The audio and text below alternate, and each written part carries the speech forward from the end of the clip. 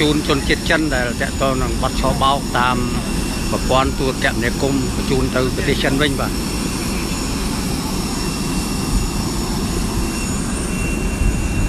សូមជម្រាបជូនថានេះគឺជាសកម្មភាពនៃប្រតិបត្តិការរបស់នគរបាលអន្តោប្រវេសន៍ដែលលោកជម្រាបចំបញ្ជូនជនជាតិចិនចំនួន63នាក់ក្នុងនោះមានបរោះអឺ50នាក់និងស្ត្រី13នាក់ ពាក់ព័ន្ធនឹងវិរុទ្ធភាពដែលសមត្ថកិច្ចរកឃើញថាពាក់ព័ន្ធនឹងបទល្មើសឆោបោកតាមប្រព័ន្ធទូរគមនាគមន៍ត្រូវបានចាប់បញ្ជូនទៅកាន់ប្រទេសចិនវិញនៅពេលនេះបាទនៅពេលនេះបាទកំពុងរៀបចំដាក់យន្តហោះហើយនេះគឺជាកិច្ចប្រតិបត្តិការរវាងអឺប៉ូលីសកម្ពុជាហើយនិងប៉ូលីសពីប្រទេសចិនបាទអា នេះគឺជារូបភាពរបស់ប៉ូលីសចិនដែលមកចាំទទួលយកជនជាតិចិនទាំង63នាក់ដែលនគរបាលអន្តោប្រវេសន៍ប្រទេសកម្ពុជាយើងចាប់បញ្ជូនទៅប្រទេសចិនវិញបាទបាទសូមនាំទៅអញ្ជើញមើលថានេះគឺជារូបភាពជនជាតិចិនទាំង63នាក់បាទ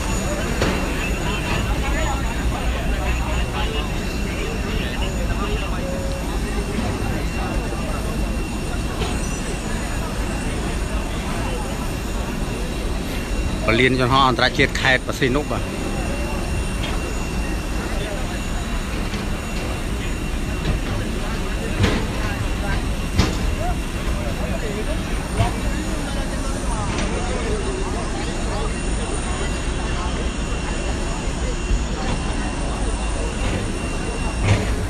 បាទទីនឹងបញ្ជូនតាមយន្តហោះនេះយន្តហោះមកពីប្រទេសពីប្រទេសចិនហើយនេះគឺជាកិច្ចសហប្រតិបត្តិការរវាង ប៉ូលីសកម្ពុជាយើងខាងអន្តោប្រវេសន៍ជាមួយប៉ូលីសចិនអឺក្រោយពីរកឃើញនេះក្រុមនេះគឺជាក្រុមដែលជាប់រដ្ឋភាពតាក់ទងដល់បទឆោបោកតាមប្រព័ន្ធទូរគមនាគមន៍នេះបើតាមការអាងរបស់អឺមន្ត្រីជាន់ខ្ពស់នៃប៉ូលីសអន្តោប្រវេសន៍របស់ប្រទេសកម្ពុជាយើងបាទ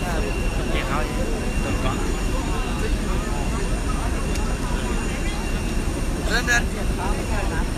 lên lên lên lên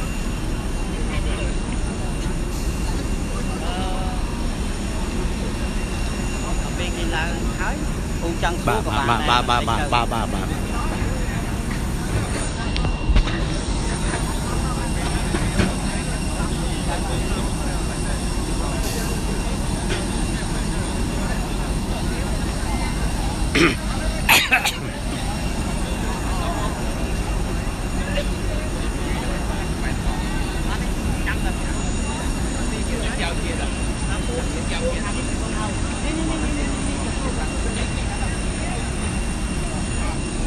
គឺកំពុងរៀបចំនីតិវិធីផ្សេងផ្សេងៗ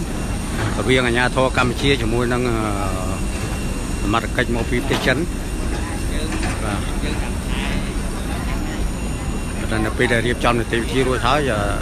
អ្នកទាំង63អ្នកហ្នឹងនឹងត្រូវបញ្ជូនឡើងលើយន្តហោះហើយដឹកទៅកាន់ប្រទេសចិនភ្លាមៗតែម្ដងបាទ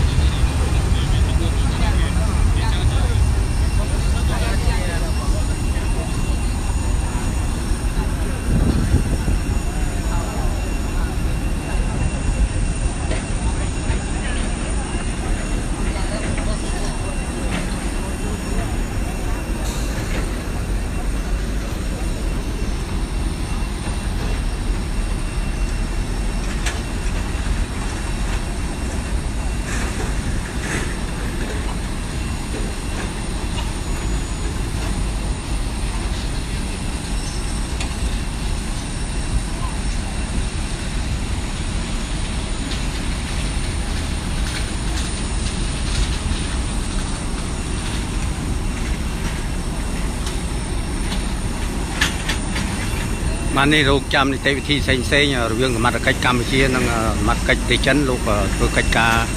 នីតិវិធីមួយចំនួនហើយទើបមានការបញ្ជូនអ្នកទាំងអស់នេះឡើងយន្តហោះបាទហើយរូបភាពនេះគឺជារូបភាពប៉ូលីសចិនបាទដែលមកទទួលយកអ្នកទាំង63អ្នកនេះ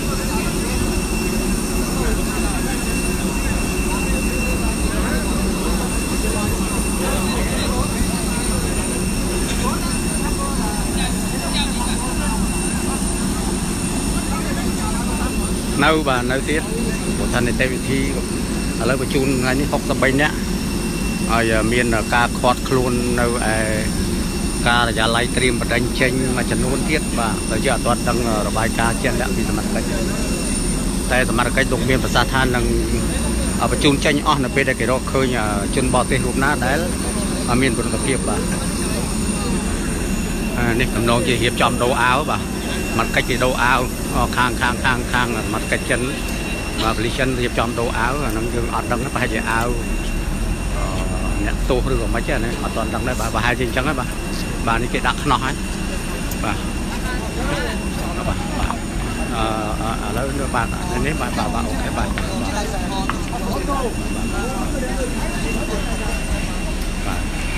នេះខាងមាត់កិច្ចកម្ពុជាបុគ្គលឲ្យប៉ូលីសចិនហើយហើយចាប់ផ្ដើមវាយខ្នោះឲ្យបញ្ជូនឡើងយន្តហោះបាទ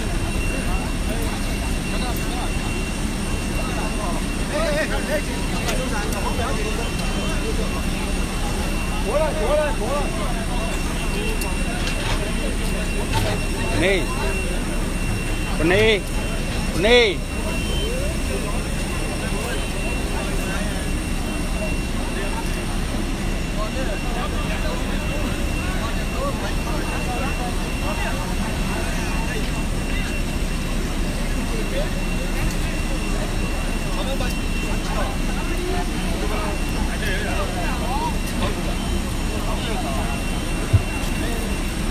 បាទមានអឺប្រុសប្រុសហ្នឹង50នាក់ហើយមានស្ត្រីនោះ13នាក់បាទ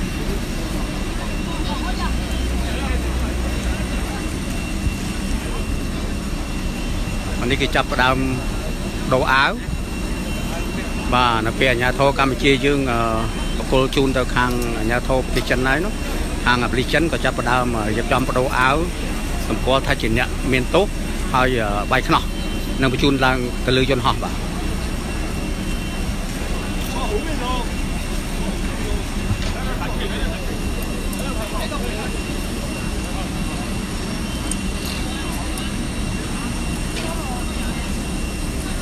សូមបញ្ជាក់ជូនជំរាបថានេះគឺជាប្រតិបត្តិការនៃការចាប់បញ្ជូនជនជាតិចិនចំនួន63នាក់ប្រុស50នាក់ស្ត្រី13នាក់ ដែលប៉ូលីសអន្តោប្រវេសន៍នៃប្រទេសកម្ពុជាយើងរកឃើញវិរុទ្ធភាពតាក់ទងទៅដល់តាមសមត្ថកិច្ចលោកអះអាងថាតាក់ទងដល់វិរុទ្ធភាពដែលជាប់ទោសពីរឿងថាឆោបោកបាទប្រព្រឹត្តអំពើឆោបោកតាមប្រព័ន្ធទូរគមនាគមន៍ហើយត្រូវបានចាប់បញ្ជូនពីប្រទេសកម្ពុជាយើងតាមពលានតាមអាកាសយានដ្ឋានអន្តរជាតិខេត្តព្រះសីហនុបាទ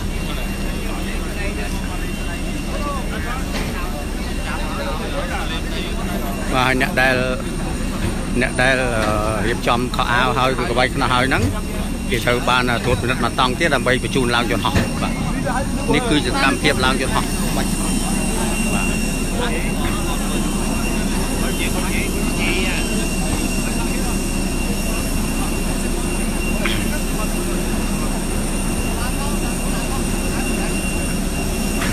មានអ្នកខ្លះក៏យំដែរបាទមេស្រីម្នាក់នេះគាត់យំនៅ ពេលដែលខ្លួនគិតថាខ្លួនមានកំហុសហើយត្រូវបានចាប់ទូទាត់អញ្ចឹងទៅប្រហែលជាមានការស្ដាយក្រោយយ៉ាងម៉េចទេបាទ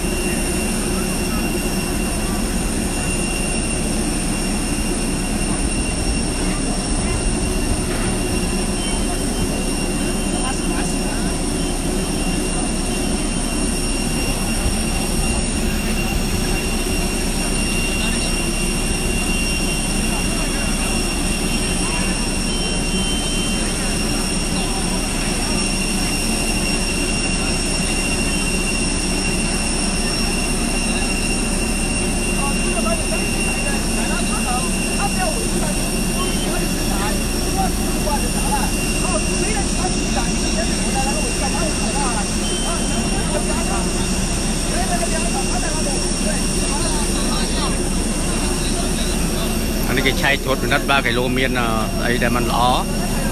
ខាងអឺយន្តហោះបាទនេះខាងយន្តហោះអឺគាត់ឆែកមើលមុននឹងបញ្ជូនទៅមុននឹងបញ្ជូនឲ្យឡើងយន្តហោះបាទមិញអ្នកនេះគាត់យំបាទយំរហូត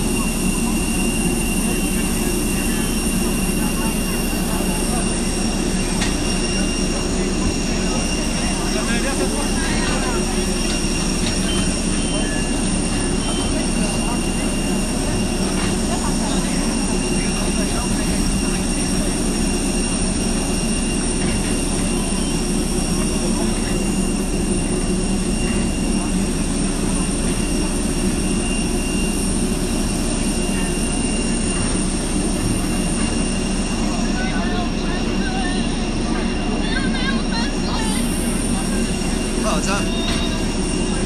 干嘛？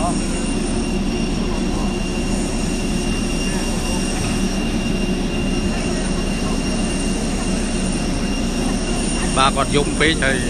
មានការសម្រួលពីសមត្ថកិច្ចចិនដូចគ្នាបាទហើយគាត់តាតឹងដៃគាត់តែមិនចេះយកអត់តឹងដែរបាទបាទបាទម្នាក់នឹងយំរហូត 有没有犯罪？ 老板你身材好还不回来你把放下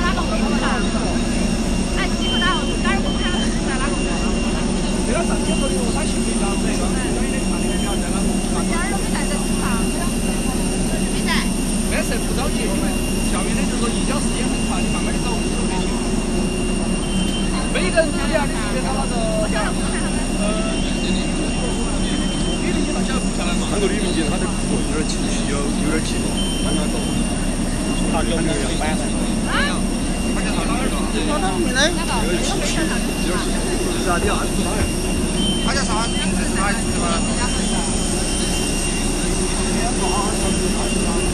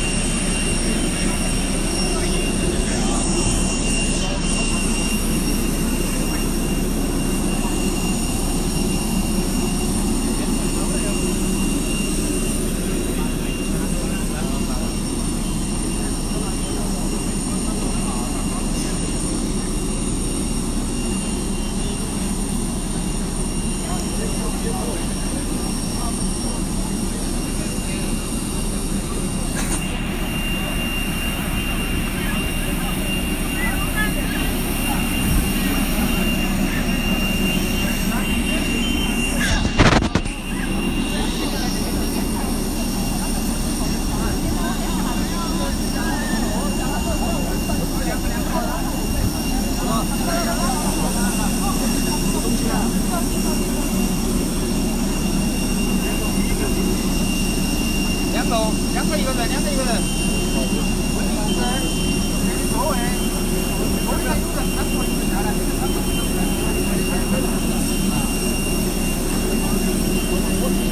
បាទសូមបញ្ជាក់ជូនបងប្អូនជ្រាបថានេះគឺជាកិច្ចប្រតិបត្តិការរបស់នគរបាលកិត្តិយសឋានអន្តរប្រវេសន៍ដែលលោករៀបចំបញ្ជូនជនជាតិចិនចំនួន63នាក់ទៅប្រទេសចិនវិញសហការជាមួយប៉ូលីសជំនាញមកពីប្រទេសចិន ការចាប់បញ្ជូនគឺបានធ្វើឡើងតាមមាត់ច្រកអាកាសយានដ្ឋានអន្តរជាតិខេត្តព្រះសីហនុនៅវេលានេះហើយជនជាតិចិនដែលត្រូវបានបញ្ជូននៅថ្ងៃនេះមានចំនួន63នាក់បរោះ50នាក់និងស្ត្រី13នាក់បើតាមមន្ត្រីផ្លូវការនៅការិយាល័យត្រៀមបណ្ដឹងចេញប្រចាំនៅឯខេត្តតាស៊ីនុរបស់អគ្គនាយកដ្ឋាននគរបាលអន្តោប្រវេសន៍លោកមានប្រសាសន៍ថា អ្នកទាំង63នាក់ដែលត្រូវបញ្ជូនចេញនៅពេលនេះគឺជាប់ពាក់ព័ន្ធនឹងការប្រព្រឹត្តបទល្មើសឆបោកតាមប្រព័ន្ធទូរគមនាគមន៍បាទ hả វាឲ្យគាត់ចាំធ្វើការងារគឺគឺ tak tak tak បាទអរគុណបាទអរគុណបាទព័ត៌មានបន្ថែមនឹងមាននៅ PNN បាទអរគុណបាទសូមជម្រាបលាសិនបាទដោយសារមេឃរកភ្លៀងបាទ